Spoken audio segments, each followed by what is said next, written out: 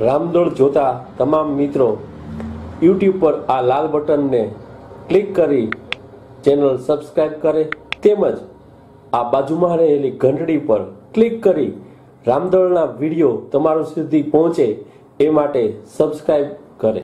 નમસ્કાર, આપ જોઈ રહ્યા છો રામદળ. અને રામદળમાં હું ભરત સાધુ આપ સૌનું હાર્દિક સ્વાગત કરું છું. મિત્રો, રામદળ એટલે રામાનંદીઓનો બુલંદ અવાજ.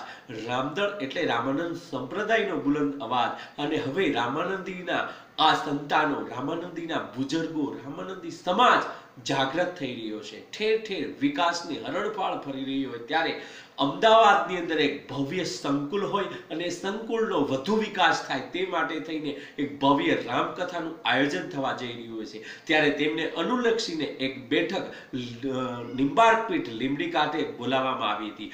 ભવ્ય મિટિંગની અંદર સૌરાષ્ટ્ર તેમજ ગુજરાતના રામાનંદી સાધુ સમાજના આગેવાનો બોડી સંખ્યામાં ઉપસ્થિત રહ્યા હતા.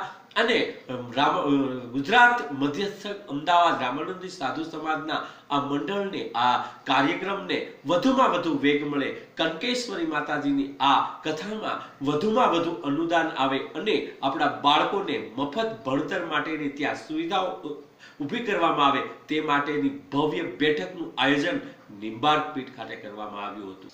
ગુજરાત મધ્યસ્થ રામાનંદી સાધુ સમાજ ઉત્કર્ષ મંડળ દ્વારા ભવ્ય અને દિવ્ય રીતે એક કથાનું આયોજન કરવામાં આવી રહ્યું છે. તેને અનુલક્ષીને અમદાવાદમાં બે બેઠક બાદ ફરી વખત ત્રેવીસ તારીખના રોજ, ત્રેવીસ બે બે હજાર વીસના રોજ નિંબાર્ક લીમડી ખાતે એક ભવ્ય બેઠકનું આયોજન કરવામાં આવ્યું હતું. આ બેઠકની અંદર સૌરાષ્ટ્ર તેમજ ગુજરાતમાંથી ચાલતા મંડળોના તમામ આગેવાનો ઉપસ્થિત રહ્યા હતા અને કનકેશ્વરી માતાની આ કથામાં સમાજના બાળકોના હિત માટે થઈને, સમાજના બાળકોને મફત શિક્ષણ આપવા માટે થઈને રામાનંદ ગુજરાત મધ્ય સંઘના આગેવાનો આગળ વધી રહ્યા હોય અને સાત્રાલયનું ભવ્ય સાત્રાલય હોય, પણ એમાં વધારાના રૂમોની વ્યવસ્થા કરીને વધુમાં વધુ આપણા બાળકો ત્યાં રહી શકે અને મફતમાં શિક્ષણ મેળવી શકે તે માટેની મુહિમ ચલાવવામાં આવી રહી હોય ત્યારે આ બેઠક લીમડી ખાતે ભવ્ય અને દિવ્ય રીતે યોજવામાં આવી હતી. મેં કીધું, એક ટૂર જે અમે કરી હતી ને, તો અમે રાજકોટ પણ રાત્રિ રોકાણ કર્યું હતું અને નિખિલભાઈ ને એમની ટીમ સતત અમારી સાથે હતી, પણ મને એ દવાઈ લાગી કે અમે ત્યાં ચૌદ તારીખે હતા અને સોળ તારીખે તો એમના સમૂહ લગ્નનું એમને આયોજન કરેલું. છતાંય રાત્રે તો અમારી સાથે હતા, પણ અમે સવારે જયારે નીકળ્યા, ત્યારે પાછા એમને મળવા આવ્યા. રામદાસ બાપુ સાક્ષીમાં છે, મનસુખભાઈ અહીંયા સાક્ષીમાં છે ત્રણ જણા ગયેલા.